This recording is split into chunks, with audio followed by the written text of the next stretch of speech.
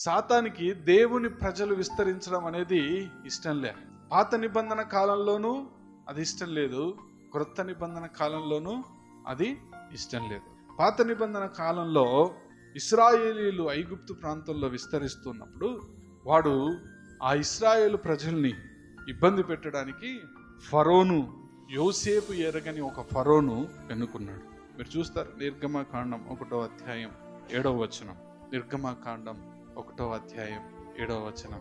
ఇస్రాయేలీలు బహుసంతానము గలవారై అభివృద్ధి పొంది విస్తరించి అత్యధికముగా ప్రబలిరి అనే మాట అక్కడ ఉంది ఇప్పుడు ఐగుప్తు దేశంలో ఉన్న ఇస్రాయేల్ ప్రజలు అక్కడ ప్రబలుతున్నారు అనే విషయాన్ని మనం చూస్తున్నాం.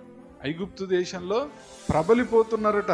అది చూసిన సాతాను యోసేపును ఎరగని ఒక ఫరోను తీసుకొని వచ్చి ఏం చేశాడో తెలుసా?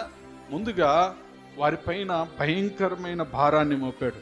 పదమూడు పద్నాలుగు వచనాలు చదివితే అక్కడ మనకు ఆ మాటలు కనిపిస్తాయి. చూడండి పదమూడు ఐగుప్తీయులు కఠినముగా సేవ చేయించుకునేది జిగట వంటి పనిలోను ఇతర పనిలోను పొలములోను వాళ్ళ పానములు విసిగిపోయేటట్టు చేశారట.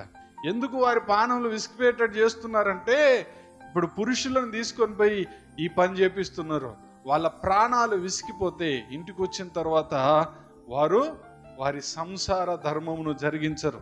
జరిగించరు కాబట్టి సంతానము విస్తరించదు అనేది ఫరో యొక్క ప్లాన్. అయితే ఎబ్రిలకు దేవుడు తోడుగా ఉన్న కారణాన్ని బట్టి దేవుని యొక్క ఉద్దేశమును వాళ్ళు ఏమాత్రం నిర్లక్ష్యపరచలేదు. వారు పొద్దున్నాక పనిచేసి వచ్చినా మరలా ఈవినింగ్ దేవుడు వారికి ఇచ్చిన ఆ పవిత్రమైన సంసార ధర్మాన్ని జరిగిస్తూ ఉండడం వలన వారు ఇంకను విస్తరించారు అనే మాటను మనం చూస్తాం. వాళ్ళు విస్తరిస్తూ ఉన్నప్పుడు మళ్ళీ వానికి కోపం వచ్చింది. ఎవరికి? ఫరోకి. ఈసారి ఫరో ఏం చేశాడో తెలుసా? వారికి కానుపు చేసే మంత్రసానులను పిలిచాడు. మంత్రసానులు ఏం చేస్తారు? కానుపు చేస్తారు. కదా? తీసుకొని వచ్చి వారితో చెప్పాడు గట్టిగా ఆజ్ఞాపించాడు. ఏమని చెప్పాడంటే మీరు కాన్పు చేస్తున్నప్పుడు ఎవ్రీ స్త్రీలకు కాన్పు చేస్తున్నప్పుడు ఒకవేళ పురుషుడైతేనేమో చంపేయండి పురిట్లోనే చంపేయండి స్త్రీలైతేనేమో బ్రతకనివ్వండి అని చెప్పాడు.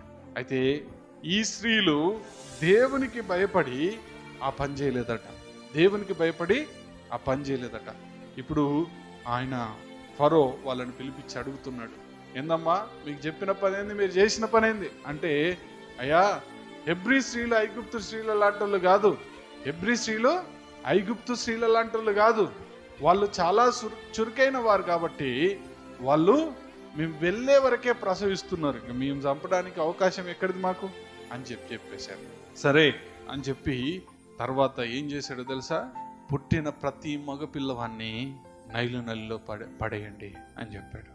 ఇలాగూ ఇస్రాయేలీలను అంతం చేద్దాం అనుకున్నాడు సాతాను. కానీ దేవుడు సంఘాన్ని విస్తరిస్తూ వచ్చాడు. కానీ ఏమాత్రము సంఘం అంతం కాకుండా సరే ఇస్రాయేలీలు అంతం కాకుండా చూస్తూ వచ్చాడు. మరి కొత్త నిబంధన కాలానికి వస్తే కొత్త నిబంధన కాలంలో కూడా వాడు అదే పని చేశాడు. సంఘం ఎంతమందితో ప్రారంభించబడింది చెప్తారా? నూట ఇరవై మంది మేడగదిలో ప్రార్థన చేస్తున్నప్పుడు సంఘం ప్రారంభమైంది. నూట ఇరవై మందితో ప్రారంభమైన సంఘం తెల్లారే పేతురు లేచి ప్రసంగం చేస్తే ఎంతమంది చేర్చబడ్డారు సంఘంలో? మూడు వేల మంది. తర్వాత నాలుగో అధ్యాయం నాలుగో వచనంలో మీరు చూస్తే అనేకులు నమ్మారు అని రాసి ఏమని రాశాడంటే ఐదు వేల మంది పురుషులు ఉన్నారు అని చెప్పాడు. ఐదు వేల మంది పురుషులు అంటే దాదాపు చాలా మంది పదిహేను వేల మంది దాకా రక్షించబడ్డారు అన్నట్టు ఆ రోజు. అలాగూ సంఘం విస్తరిస్తున్నప్పుడు సాతాను కూడా సంఘాన్ని నాశనం చేయాలని ప్రయత్నం చేశాడు. వాడు మన దగ్గరకు వచ్చే ఒక నాలుగు ఆకారాలు చెప్తాను. రాసుకుకెళ్ళిన వారు రాసుకోండి. వాడు ఎలాగొస్తాడంటే ముందుగా పేతురు రాసిన మొదటి పత్రిక ఐదవ అధ్యాయం ఎనిమిదవ వచనం ప్రకారం వాడు గర్జించు సింహం వలె వస్తాడట మన దగ్గరికి. ఎలాగొస్తాడు? చూస్తారా? ఐదు ఎనిమిది. నిబ్బరమైన బుద్ధి గలవారై మెలకువ కలిగి మెలకువగా ఉండుడి. మీ విరోధి అయిన అపవాది గర్జించు సింహం వలె ఎవరిని మృంగుదునా అని వెతుకుచు తిరుగుచున్నాడు. మొదటగా ఎలాగొస్తాడు? గర్జించే సింహంలాగా వస్తాడు. తర్వాత కొరంతీలకు రాసిన రెండవ పత్రిక కొరంతీలకు రాసిన రెండవ పత్రిక పదకొండవ అధ్యాయం మూడవ వచనం. ప్రతి పురుషునికి శిరస్సు సారీ ఆ రెండో ఆ మూడు. సర్పము తన కుయుక్తి చేత అవ్వను మోసపరిచినట్లు మీ మనస్సులను చెరపబడి క్రీస్తు ఎడలనున్న సరళత నుండి పవిత్రత నుండి ఎట్లయినను తొలగిపోవునేమో అని భయపడుచున్నాను. రెండవ రూపం ఏంటి? కుయుక్తి కలిగిన సర్పం. మొదటికి ఎలాగ వస్తాడట? గర్జించి సింహంలాగా వస్తాడట. రెండు కుయుక్తి కలిగిన సర్పంలాగా వస్తాడట. ప్రకటన గ్రంథం పన్నెండవ అధ్యాయం పదో వచనాన్ని చదువుదాం. ప్రకటన గ్రంథం పన్నెండవ అధ్యాయం పదో వచనం.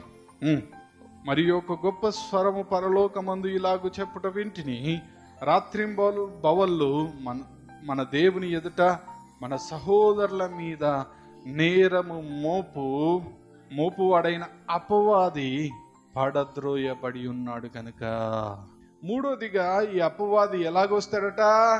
నేరము మోపే అపవాదిలాగా వస్తాడట. ఎలాగొస్తాడట? నేరము మోపే అపవాదిలాగా వస్తాడట.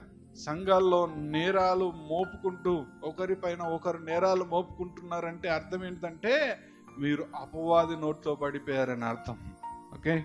చివరి విషయాన్ని మీకు జ్ఞాపకం చేస్తాను. యోహాను సువార్త ఎనిమిదవ అధ్యాయం నలభై నాలుగవ వచనం. నేను ఎందుకు వివరించట్లేదంటే సంఘములో వాని పరిస్థితి ఎలాగుండిందని మళ్ళీ వివరిస్తాను. అందుకే మీరు మీ తండ్రి యొక్క అపవాది సంబంధులు మీ తండ్రి దురాశలు నెరవేర్చుకో కోరుచున్నారు.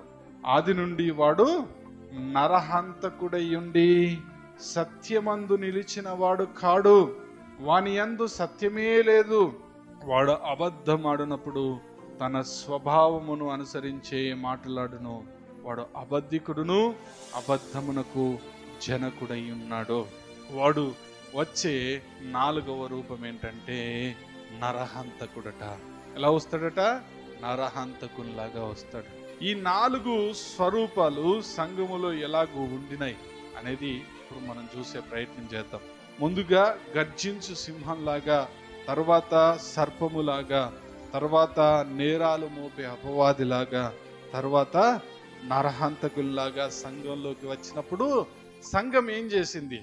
సంఘము ఎలాగూ ఆ సాతానును జయించింది అనేది మనం చూద్దాం.